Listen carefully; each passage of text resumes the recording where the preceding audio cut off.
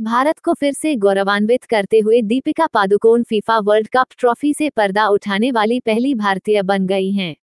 Superstar और भारत के सबसे बड़े global ambassador FIFA World Cup trophy को एक स्पेशल कमीशन किए गए ट्रक में ले गए और लुसेल स्टेडियम में इसको लॉन्च किया।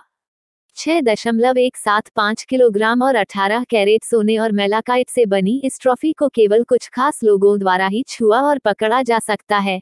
जिसमें फीफा वर्ल्ड कप के पूर्व विजेता और हेड्स ऑफ़ स्टेट शामिल हैं, जो इसे दीपिका पादुकोण के लिए एक स्मारकीय वैश्विक बेंचमार्क बनाते हैं दीपिका ने इवेंट में एक स्पेनिश फुटबॉलर के साथ एंट्री की, जिसे देख सभी का उत्साह एक अलग लेवल पर देखा गया इस खास मौके पर दीपिका सफ़ेद शर्ट ब्राउन रंग के ओवरकोट काली बेल्ट और अपनी सौ वॉट की मुस्कान में दिल धड़काते हुए देखी गईं।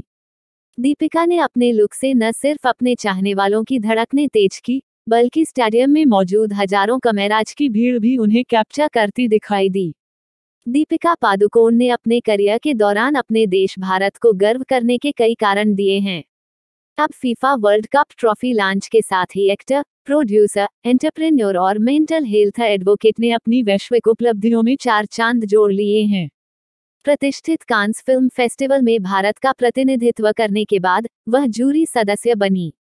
गोल्डन रेशियो ऑफ़ ब्यूटी के अनुसार दुनिया की टॉप 10 सबसे खूबसूरत महिलाओं की लिस्ट में एकमात्र भारतीय होने के बाद, दीपिका पादुकोण के पास शानदार ग्लोबल अपील है जो हर गुजरते दिन के साथ सिर्फ़ बढ़ती जा रही है। इसमें कोई हैरानी की बात नहीं है कि दीपिका पादुकोण क्यों विकलौती ऐसी भारतीय हैं जिन्हें लुई वीटन और कार्टियर जैसे लक्जरी ब्रांडों और यहाँ तक कि लेविस और एडिडास जैसे पॉप कल्चर ब्रांड के दिग्गजों के लिए ग्लोबल फेस के रूप में चुना गया है। दो बार टाइम मैगजीन पुरस्कार विजेता को भी अक्सर दुनिया के अलग अलग क्षेत्रों की जानी मानी हस्तियों के साथ मान्यता दी गई है।